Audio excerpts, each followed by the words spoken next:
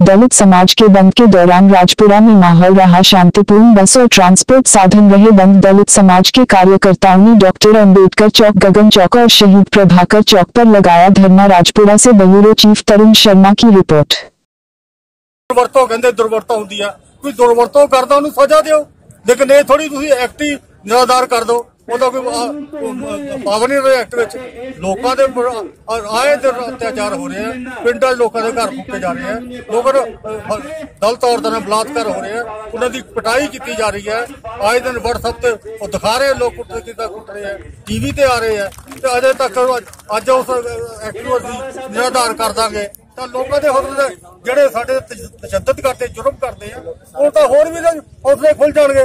ਤੇ ਇਸ ਕਰਕੇ ਅਸੀਂ ਸਾਡੀ ਮੰਗ ਇਹ ਹੈਗੀ ਹੈ ਅਸੀਂ ਬੰਦ ਕੀਤਾ ਹੈਗਾ ਵੀ ਇਹ ਜਿਹੜਾ ਹੈਗਾ ਸਰਕਾਰ ਜਿਹੜੀ ਹੈ ਸੈਂਟਰ ਗਵਰਨਮੈਂਟ ਆਪਣੀ ਵੱਲੋਂ ਜਿਹੜਾ ਸੁਪਰੀਮ ਕੋਰਟ ਵਿੱਚ ਰਿਟ ਦਾਇਰ ਕਰੇ ਔਰ ਇਹ ਕਹੇ, ਮੰਗ ਰੱਖੇ ਸੁਪਰੀਮ ਕੋਰਟ ਤੋਂ ਕਿ ਇਹ ਜਿਹੜਾ ਜਿਹੜਾ ਫੈਸਲਾ ਹੈ, ਇਹ ਜਿਹੜਾ ਹੈ, ਇਹ ਲੋਕਾਂ ਦੇ ਖਿਲਾਫ ਜਾਂਦਾ ਹੈਗਾ। ਇਸ ਕਰਕੇ ਜਿਹੜਾ ਹੈ ਦੁਬਾਰਾ ਜਿਹੜਾ ਐਸਸੀ ਐਕਟ ਦੇ ਤਹਿਤ ਜਿਹੜੀ ਹੈ, ਉਹਨੂੰ ਜਿੱਦਾਂ ਪਹਿਲੇ ਸੀ, ਉਦਾਂ ਹੀ ਜਿਹੜਾ ਹੈ, ਇਹਨੂੰ ਬਾਹਰ ਰੱਖਿਆ ਮੈਂ ਹੰਸਰਾਜ ਪੋਦੀ ਪ੍ਰਧਾਨ। ਔਰ ਸਾਰੇ ਸਾਡੇ ਐਸਸੀ ਮੋਰਚੇ ਦੇ ਪ੍ਰਧਾਨ, ਸਾਡੇ ਰਵਿਦਾਸੀਆ ਪ੍ਰਧਾਨ, ਸਾਡੇ ਸਾਰੀ ਜਿਹੜੀ ਜੀ ਛੋਟੀ ਜਾਤੀ ਹੈ, ਸਾਰੇ ਅਸੀਂ ਦਲਿਤ ਸਮਾਜ ਅੱਜ ਇਕੱਠਾ ਹੋਇਆ ਜਿਹੜਾ ਰੋਜ਼ ਸਾਡਾ ਹੈਗਾ, ਬਾਬਾ ਸਾਹਿਬ ਦੀ ਜਿਹੜੀ ਸੋਚ ਸੀ, ਜਿਨ੍ਹਾਂ ਨੇ ਸੰਵਿਧਾਨ ਲਿਖਿਆ, ਉਹਦੇ ਵਿੱਚ ਜਿਹੜਾ ਸਾਡਾ ਐਸਸੀ ਐਸਸੀ ਐਕਟ ਦਾ ਜਿਹੜਾ ਪਰਚਾ ਦਰਜ ਹੁੰਦਾ ਦਾ ਅੱਜ ਉਹ ਕੇਂਦਰ ਸਰਕਾਰ ਨੇ ਔਰ ਮਿਲ ਕੇ ਸਾਡੇ ਸੁਪਰੀਮ ਕੋਰਟ ਮਾਨਯੋਗ ਨੇ ਉਹਨਾਂ ਦਾ ਕਿਸੇ ਤੋਂ ਕਹਿਣ ਤੋਂ ਜਾਂ ਕਿਸੇ ਪਟੀਸ਼ਨ ਪਾਣ ਤੋਂ ਜਿਹੜਾ ਸਾਡਾ ਰੱਦ ਕਰਿਆ ਗਿਆ, ਇਹ ਜਿਹੜਾ ਸਾਡਾ ਸੰਵਿਧਾਨ ਲਿਖਿਆ ਹੋਇਆ ਐਸਸੀ ਐਕਟ ਦਾ। ਇਹ ਜਿਸ ਤਰ੍ਹਾਂ ਦਾ ਉਸ ਤਰ੍ਹਾਂ ਹੀ ਰਹਿਣਾ ਚਾਹੀਦਾ ਆ। ਸਾਡੀ ਇਹ ਮੰਗ ਆ ਕਿ ਕੇਂਦਰ ਸਰਕਾਰ ਨੂੰ ਵੀ ਔਰ ਪੰਜਾਬ ਸਰਕਾਰ ਨੂੰ ਵੀ। ਪਰ ਸਾਨੂੰ ਪੰਜਾਬ ਸਰਕਾਰ ਵੱਲੋਂ ਰਾਤ ਹੀ, ਚਲੋ ਟੀਵੀ 'ਚ ਵੀ ਆਇਆ, ਉਹਨਾਂ ਦਾ ਵੀ ਸਮਰਥਨ ਮਿਲਿਆ।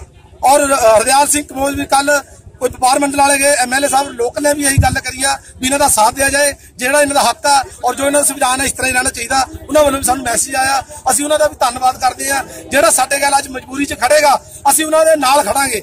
ਅਗਰ ਜੇ ਸਾਡੇ ਬਰਾਦਰੀ ਨਾਲ ਅਸੀਂ ਬਾਈਕਾਟ, ਬੀਜੇਪੀ ਅਗਰ ਸਾਡੇ ਗੱਲ ਧੋਖਾਬਾਜ਼ੀ ਕਰੇਗੀ, ਆਉਣ ਵਾਲੇ ਇਲੈਕਸ਼ਨਾਂ ਵਿੱਚ ਵੀ ਅਸੀਂ ਉਹਨਾਂ ਨੂੰ ਦਿਖਾਵਾਂਗੇ ਤੇ ਹੁਣ ਵੀ ਅਸੀਂ ਬਾਈਕਾਟ, ਸਾਡੇ ਜਿਸ ਤਰ੍ਹਾਂ ਪ੍ਰਧਾਨ ਜੀ ਸਾਡੇ ਸਾਹਿਬਲਾ ਜੀ ਨੂੰ ਵੀ ਹਟਾ ਦਿਆ ਉਹਨਾਂ ਦੀ ਜਗ੍ਹਾ ਹੋਰ ਲਾ ਦਿੱਤਾ। ਉਹਨਾਂ ਦੀ ਨੀਤੀ ਐਸੀ ਬੀਜੇਪੀ ਦੀ ਅਸੀਂ ਉਹਨਾਂ ਨੂੰ ਕਹਾਂਗੇ ਸਾਡੇ ਜਿਹੜੇ ਐਸਪੀ ਬੋਰਡ ਦੇ ਪ੍ਰਧਾਨ ਖੜੇ ਹੈਗੇ ਆ ਇਹ ਵੀ ਸਾਡੇ ਨਾਲ ਆ ਸਾਡੀ ਜਾਤੀਆਂ ਤੋਂ ਬਣਦੇ ਆ ਪਰ ਅਸੀਂ ਉਹਨਾਂ ਦਾ ਬਾਈਕਾਟ ਕਰਾਂਗੇ ਜੇ ਸਾਡੇ ਨਾਲ ਅਨਿਆਏ ਇਸ ਤਰ੍ਹਾਂ ਹੀ ਕਰਾਂਗੇ। ਅੱਜ ਰਾਜਪੁਰੇ ਵਿੱਚ ਤੁਸੀਂ ਕਿੱਥੇ ਕਿੱਥੇ ਜਾਮ ਲਾਇਆ ਹੋਇਆ? ਸਾਡੇ ਉਰੇ ਦੋ ਜਗ੍ਹਾ ਜਾਮ ਲੱਗਿਆ ਹੋਇਆ ਇੱਕ ਟਾਲੀ ਵਾਲੇ ਚੌਂਕ ਲੱਗਿਆ ਇੱਕ ਅੰਬੇਦਕਰ ਚੌਂਕ ਜਿਹੜਾ ਬਾਬਾ ਸਾਹਿਬ ਦੀ ਸਟੈਚੂ ਲੱਗਿਆ ਇਸਕੇ ਥੱਲੇ ਝੰਡੇ ਥੱਲੇ ਅਸੀਂ ਸਾਰੇ ਦਲਿਤ ਸਮਾਜ ਉਰੇ ਇਕੱਠੇ ਹੋਏ ਹੋਏ ਆ ਉਰੇ ਹੀ ਅਸੀਂ ਮੰਗ ਪੱਤਰ ਐਸਡੀਐਮ ਸਾਹਿਬ ਨੂੰ ਬੁਲਾਇਆ ਹੋਇਆ ਐਸਡੀਐਮ ਸਾਹਿਬ ਨੂੰ ਉਰੇ ਮੰਗ ਪੱਤਰ ਦੇਵਾਂਗੇ ਫਿਰ ਅਸੀਂ ਆਪਣਾ ਸ਼ਾਂਤੀ ਢੰਗ ਦੇ ਨਾਲ ਅਸੀਂ ਬਾਜ਼ਾਰ 'ਚ ਘੁੰਮਾਂਗੇ।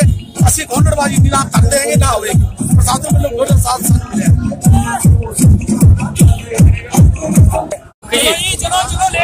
ਕੀ ਤੁਸੀਂ ਕੀ ਕਹਿਣਾ ਚਾਹੁੰਦੇ ਹੋ ਇਸ ਬਾਰੇ? ਦੇਖੋ ਜਿੱਥੇ ਮੈਨੂੰ ਅੱਜ ਇੱਕ ਖੁਸ਼ੀ ਹੈ ਕਿ ਸਾਡੇ ਐਸਸੀ ਸਮਾਜ ਦੇ ਲੋਕ ਕਿਵੇਂ ਵੱਧ ਚੜ ਕੇ ਇਸ ਸੰਘਰਸ਼ 'ਚ ਸਾਡਾ ਯੋਗਦਾਨ ਪਾ ਰਹੇ ਨੇ ਤੇ ਸਾਡੇ ਨਾਲ ਤੁਰ ਰਹੇ। ਉੱਥੇ ਹੀ ਮੈਨੂੰ ਇੱਕ ਬਹੁਤ ਮਾਯੂਸੀ ਵੀ ਹੋਈ ਹੈ ਕਿ ਜਿੱਥੇ ਐਮਸੀ ਖੜਨ ਲਈ ਜਾਂ ਹੋਰ ਐਸਸੀ ਦੇ ਅਹੁਦੇ ਲੈਣ ਲਈ ਲੋਕ ਅੱਗੇ ਹੋ ਕੇ ਸਾਡਾ ਯੂਜ਼ ਕਰਦੇ ਨੇ, ਅੱਜ ਮੈਨੂੰ ਇੱਥੇ ਸਿਰਫ ਉਜਾਗਰ ਸਿੰਘ ਜੀ ਇੱਕ ਨਜ਼ਰ ਆ ਰਹੇ ਨੇ, ਜਿਹੜੇ ਐਸਸੀ ਸਮਾਜ ਦੇ ਵਿੱਚੋਂ ਟਿਕਟ ਲੈ ਕੇ ਖੜੇ ਨੇ, ਬਾਕੀ ਸਾਡੇ ਸਮਾਜ ਵਾਲੇ ਉਹ ਮੇਰੇ ਖਿਆਲ 'ਚ ਅੱਜ ਪਾਰਟੀ ਬਾਜ਼ੀਆਂ ਦੀ ਚਾਟੂ ਕਰਤਾ ਕਰਨ ਲਈ ਲੱਗੇ ਹੋਏ ਆ, ਨਾ ਕਿ ਆਪਣੇ ਸਮਾਜ ਦਾ ਸਾਥ ਦੇ ਰਹੇ ਨੇ। ਅਸੀਂ ਰਾਜਪੁਰਾ ਸ਼ਹਿਰ ਦੇ ਵਿੱਚ ਸੁਰੱਖਿਆ ਪ੍ਰਬੰਧ ਬਹੁਤ ਪੁਖਤਾ ਬੰਦੋਬਸਤ ਕੀਤੇ ਹੋਏ ਨੇ। ਜਿਵੇਂ ਤੁਸੀਂ ਦੇਖ ਹੀ ਰਹੇ ਹੋ, ਸਾਡੇ ਕੋਲ ਪਟਿਆਲੇ ਤੋਂ ਵੀ ਕਾਫੀ ਜਿਹੜੀ ਫੋਰਸ ਕਰੀ ਹੋਈ ਹੈ ਰਾਜਪੁਰਾ ਦੇ ਵਿੱਚ ਬਹੁਤ ਪੀਸਫੁਲ ਤਰੀਕੇ ਨਾਲ ਇਹ ਸਾਰਾ ਚੱਲ ਰਿਹਾ ਹੈ। ਅਸੀਂ ਤੁਹਾਡੇ ਮਾਧਿਅਮ ਰਾਹੀਂ ਮੈਂ ਇਹ ਅਪੀਲ ਕਰਨਾ ਚਾਹੁੰਦਾ, ਸਾਰੇ ਸ਼ਹਿਰ ਵਾਸੀਆਂ ਨੂੰ ਸ਼ਾਂਤੀਪੂਰਵਕ ਸਾਰਾ ਇੱਕ ਮਿਲਣਾ ਚਾਹੀਦਾ ਔਰ ਜੇ ਕੋਈ ਵਿਅਕਤੀ ਕੋਈ ਤੋੜਪਨ ਕਰੇਗਾ ਜਾਂ ਕੋਈ ਵੀ ਕਾਨੂੰਨ ਆਪਣੇ ਹੱਥ ਲੈਣ ਦੀ ਕੋਸ਼ਿਸ਼ ਕਰੇਗਾ, ਉਹਨੂੰ ਬਖਸ਼ਿਆ ਔਰ ਬਹੁਤ ਸਾਡੀ ਪੋਸਟ ਦੀ ਨਾਲ ਨਿਗਰਾਨੀ ਵੀ ਰੱਖੀ ਹੋਈ ਹੈ ਅਸੀਂ ਔਰ ਸਾਡੀ ਕਿਸੇ ਪ੍ਰਕਾਰ ਤੁਸੀਂ ਕੋਈ ਅਰੈਸਟ ਕੀਤਾ ਹੋਵੇ ਜਾਂ ਕੋਈ ਮਾਲੀ ਦੁਰਘਟਨਾ ਹੋਈ ਹੋਵੇ ਇਹਦੇ ਬਾਰੇ ਕੀ ਕਹੋ ਨਹੀਂ ਕੋਈ ਹਜੇ ਕਿਸੇ ਤਰੀਕੇ ਦਾ ਕੋਈ ਅਸੀਂ ਅਰੈਸਟ ਨਹੀਂ ਕੀਤਾ। ਨਾ ਹੀ ਮੈਨੂੰ ਲੱਗਦਾ ਕਿ ਰਾਜਪੁਰਾ ਸ਼ਹਿਰ ਦੇ ਵਿੱਚ ਲੋੜ ਹੈ ਕਿਉਂਕਿ ਬਹੁਤ ਅਮਨ ਔਰ ਪੀਸ ਸ਼ਾਂਤੀ ਦੇ ਨਾਲ ਸਾਰਾ ਚੱਲ ਰਿਹਾ ਹੈ ਠੀਕ ਹਾਂਜੀ ਸਰ ਅੱਜ ਦੇ ਬਾਰੇ ਦੱਸੋ ਕੁਝ ਅੱਜ ਭਾਈਚਾਰੇ ਵੱਲੋਂ ਰੋਜ਼ ਪ੍ਰਦਰਸ਼ਨ ਕੀਤਾ ਜਾ ਰਿਹਾ ਸ਼ਾਂਤਮਈ ਤਰੀਕੇ ਨਾਲ ਰੋਜ਼ਵਾਰ ਚੱਲ ਰਿਹਾ। ਬਿਲਕੁਲ ਸ਼ਾਂਤ ਕੋਈ ਕਿਸੇ ਪ੍ਰਕਾਰ ਦੀ ਕਿਸੇ ਦੀ ਸ਼ਰਾਰਤ ਕੀਤੀ ਹੋਏ ਜਾਂ ਕੋਈ ਅਰੈਸਟ ਕੀਤਾ ਗਿਆ ਹੋਵੇ? ਕੁਝ ਨਹੀਂ ਜਿਹੜਾ ਆਪਣਾ ਰੋਸ ਹੈ ਸਾਰੇ ਸ਼ਾਂਤਮਈ ਤਰੀਕੇ ਨਾਲ ਕਰ ਰਹੇ ਨੇ। ਹੁਣ ਤੱਕ ਕੋਈ ਅਰੈਸਟ ਤਾਂ ਨਹੀਂ ਕੀਤਾ ਗਿਆ? ਕੋਈ ਅਰੈਸਟ ਵਾਲਾ ਕੋਈ ਕੰਮ ਹੀ ਨਹੀਂ ਹੋਇਆ ਨਾ ਕੋਈ ਹੁੱਲੜਬਾਜ਼ੀ ਹੋਈ ਹੈ ਨਾ ਬਿਲਕੁਲ ਤਰੀਕੇ